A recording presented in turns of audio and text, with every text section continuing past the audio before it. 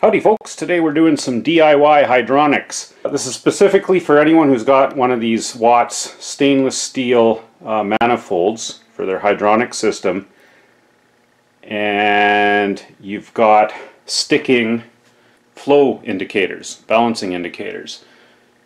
That's primarily what this is going to be for, but if anyone wants to watch this who don't really know much about hydronic systems, uh, this is about as simple as it can get. This, uh, this system I put in myself when we built our house about uh, 12 years ago now. You've basically got a boiler, in this case it's an electric boiler. Uh, you've got an outlet, you've got an outlet line that uh, from the boiler, you've got a pressure tank, a recirculating pump, and then it goes down to feed the supply line or the supply end of the manifold, goes through the loop of pipe wherever it goes and then it comes back up to the return line of the manifold and back down into the boiler to be reheated and just keeps circulating over and over again.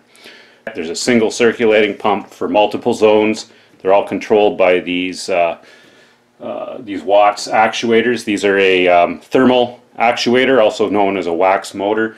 Really neat design. Uh, you can look these up online, how linear uh, or thermal actuators work, or wax motors. Basically, it's a little um, cylinder with a wax pellet in it, and it's got a little heating element on it. In this case, it, the heating element is a very low wattage element driven off of uh, 24 volts AC.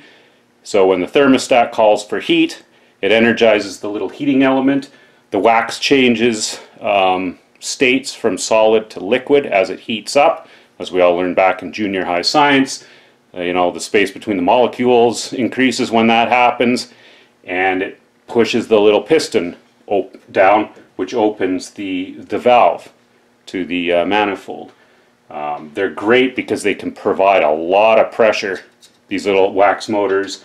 Uh, so you, they're great for uh, things with strong springs. These are actually the same idea what's in your um, thermostat in your vehicle for your coolant system. You know, as the coolant heats up, thermostat opens, same idea. It's got the little wax uh, actuator in it.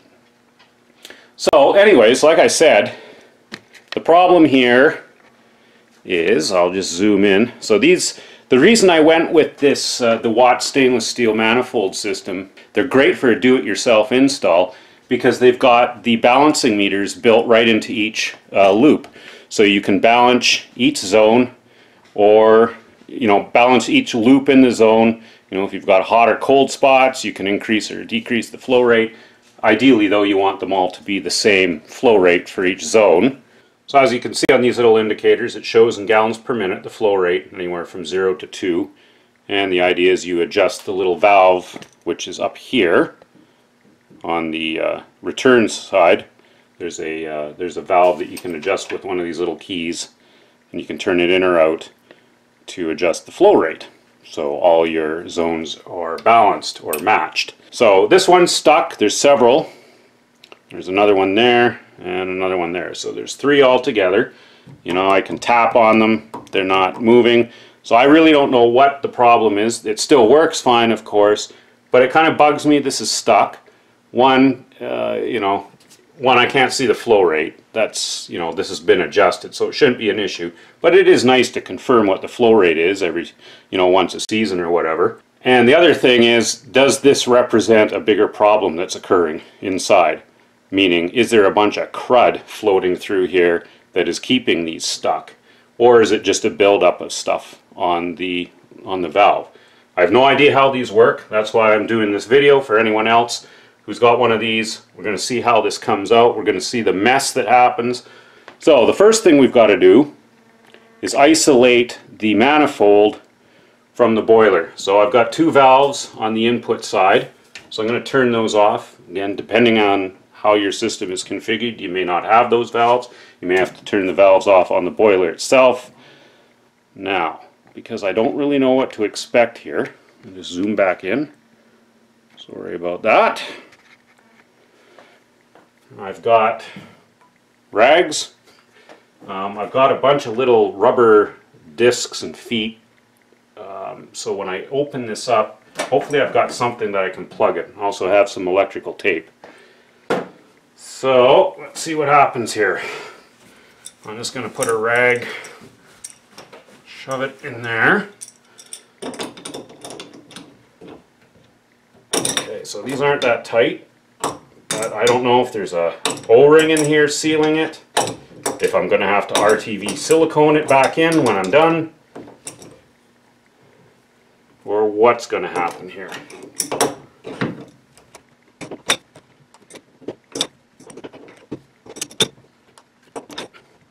Okay, so it's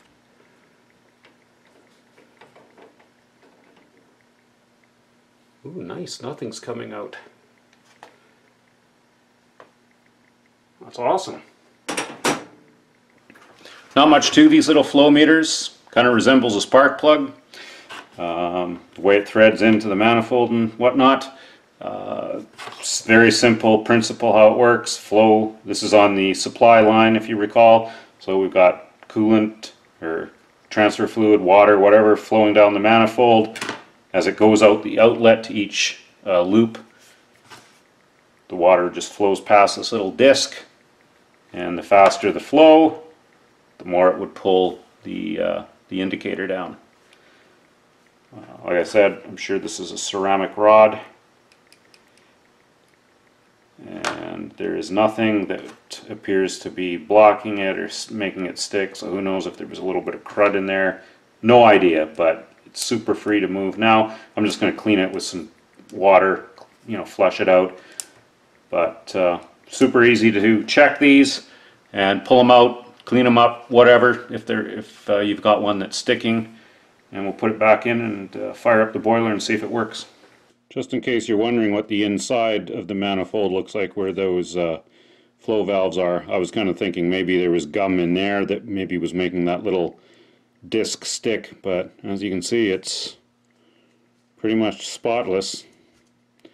Fluid's really clean, the little brass uh, outlet is clean, nothing that would uh, cause it to stick. So these actuators are warming up the little red window I don't know if you can see it. These ones aren't on. These are the three that are on the zone that's calling for heat. Little red windows moving up. And there's a micro switch in one of them. When that activates, that uh, signals the uh, boiler to fire up and to turn on the recirculating pump. There we go. So they're all matched at hmm, just over half a gallon a minute. I'm going to turn the thermostat off and we'll see if this one is no longer stuck. Well, thermostat is off, just waiting for those actuators to slowly close.